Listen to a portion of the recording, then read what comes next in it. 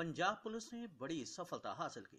Police द्वारा दो जम्मू कश्मीर के सरकारी बसों में से नब्बे किलो चूरा पोस्ट और सात लाख तिरपन हज़ार आठ सौ रुपए की नई भारतीय करेंसी पकड़ी गई।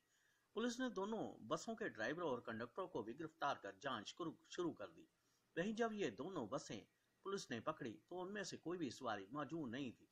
उधर एक बस में पकड़ी गई भारतीय करेंसी के बारे में पुलिस ने इनकम टैक्स के अधिकारियों से संपर्क किया है।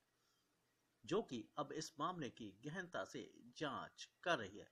जलंधर देहात के एसएसपी नवजोत सिंह मान ने बताया कि चारों आरोपी जे के रोडवेज़ में ही काम करते हैं।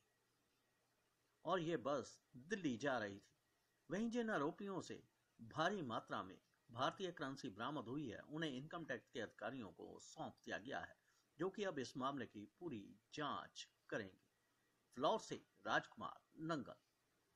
ਉੱਥੇ ਅੱਜ ਸਵੇਰੇ 2:30 ਵਜੇ ਦੇ ਕਰੀਬ ਸਾਡੇ ਐਸਪੀ ਡੀ ਬੋਪਰਾਏ ਸਾਹਿਬ ਤੇ ਡੀਐਸਪੀ ਡੀ ਅਮਨਦੀਪ ਰਾੜ ਇਹਨਾਂ ਦੀ ਅਗਵਾਈ ਦੇ ਵਿੱਚ ਐਸਐਚਓ ਗਰਾਇਆ ਲਖਵੀਰ ਸਿੰਘ ਨੇ ਇੱਕ ਨਾਕਾਬੰਦੀ ਕੀਤੀ ਹੋਈ ਸੀ। ਜਿਸ ਦੌਰਾਨ ਇਹਨਾਂ ਨੇ ਦੋ ਬੱਸਾਂ ਰੋਕੀਆਂ। ਦੋਵੇਂ ਹੀ ਜੇ&ਕੇ ਦੀਆਂ ਸਰਕਾਰੀ ਬੱਸਸ ਨੇ। ਪਹਿਲੀ ਬੱਸ ਨੂੰ ਰੋਕ ਕੇ ਜਦੋਂ ਉਸ ਦੀ ਚੈਕਿੰਗ ਕੀਤੀ ਗਈ ਤੇ ਉਹਦੇ ਵਿੱਚੋਂ ਦੋ ਬੈਗਸ ਮਿਲੇ 45 45 ਕਿਲੋ ਦੇ। ਤੇ 90 ਕਿਲੋ ਟੋਟਲ ਚੂਰਾ ਪੋਸਟ ਜਾਂ ਪੌਪੀ ਹਸਕ ਜਿਹਨੂੰ ਅਸੀਂ ਕਹਿੰਦੇ ਆ ਉਹ ਰਿਕਵਰ ਹੋਈ। ਇਹ ਜਿਹੜੇ ਦੋਵੇਂ ਡਰਾਈਵਰ ਸੀਗੇ, ਇਹ ਇੱਕ ਡਰਾਈਵਰ ਇੱਕ ਕੰਡਕਟਰ ਇਹ ਦੋਵੇਂ ਸ਼੍ਰੀਨਗਰ ਤੋਂ ਆ ਰਹੇ ਸੀਗੇ।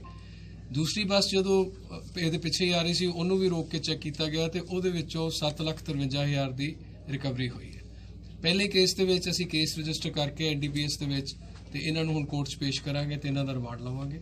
ਦੂਜੇ ਕੇਸ ਦੇ ਵਿੱਚ ਕਿਉਂਕਿ ਸਿਰਫ ਕੈਸ਼ ਮਿਲਿਆ ਸੀਗਾ, ਉਸ ਕੇਸ ਦੇ ਵਿੱਚ ਅਸੀਂ ਇਨਕਮ ਟੈਕਸ ਅਥਾਰਟੀਜ਼ ਤੇ ਜੇ ਲੋੜ ਪਈ ਤੇ ਈਡੀ ਵਾਲਿਆਂ ਨੂੰ ਵੀ ਇਨਫਾਰਮ ਕਰਾਂਗੇ। ਤੇ ਦੋਨੋਂ ਕੇਸਾਂ 'ਚ ਪਤਾ ਲੱਗਾ ਸਰ ਡਿਲੀਵਰੀ ਕਿੱਥੇ ਹੋਣ ਵਾਲੀ ਸੀ ਇਹ ਦੋਨਾਂ ਦੀ? ਇਹ ਹੁਣ ਇਹਨਾਂ ਨੂੰ ਫੜਿਆ ਗਿਆ ਇਹਨਾਂ ਦਾ ਰਿਮਾਂਡ ਲਿਆ ਜਾਏਗਾ ਤੇ ਪੁੱਛਗਿੱਛ ਕਰਕੇ ਫਿਰ ਤੁਹਾਡੇ ਨਾਲ ਇਹ ਜੋ ਵੀ ਗੱਲ ਸਾਹਮਣੇ ਆਏਗੀ ਸ਼ੇਅਰ ਕਰਾਂਗੇ। ਸਰ ਬੱਸਸ ਕਿੱਥੇ ਦੀ ਹੈ ਬੱਸੇਸ ਇਹ ਦੀਆਂ ਸਰਕਾਰੀ ਬੱਸਾਂ ਨੇ। ਸਰ ਇਹਨਾਂ ਕੋ ਪਹਿਲੇ ਰੂਟ ਵੀ ਰੂਟ ਕੀ ਸੀ ਸਰ? ਸਟੇਟ ਟਰਾਂਸਪੋਰਟ ਇਹ state transport J and K ਦੀ ਹੈਗੀ ਹੈ। ਇਹ ਸ਼੍ਰੀਨਗਰ ਤੋਂ ਆਏ ਨੇ ਤੇ ਹੁਣ ਲੁਧਿਆਣੇ ਤੇ ਦਿੱਲੀ ਵੱਲ ਨੂੰ ਜਾ ਰਹੇ ਸੀਗੇ।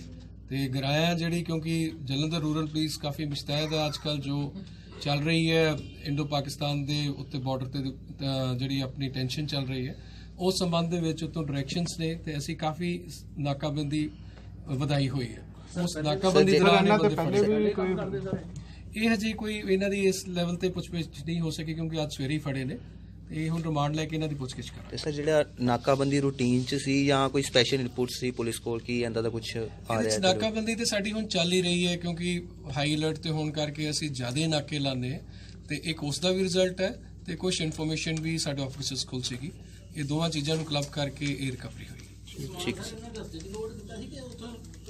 ਇਹ ਹੁਣ ਪੁੱਛਗਿੱਛ ਕਰਾਂਗੇ। ਪੁੱਛਗਿੱਛ ਕਰਾਂਗੇ ਜਿਹੜੀ ਹੈ ਕਰੰਸੀ ਸੀਗੀ origignal ਹੈ ਕਿ ਨਕਲੀ ਹੈ? ਹਜੇ ਤੱਕ ਤੇ ਜੋ ਮਹਿਸੂਸ ਹੁੰਦਾ ਓਰੀਜਨਲ ਹੈ ਬਿਲਕੁਲ ਓਰੀਜਨਲ ਤੇ ਠੀਕ ਹੈ sir thank you thank you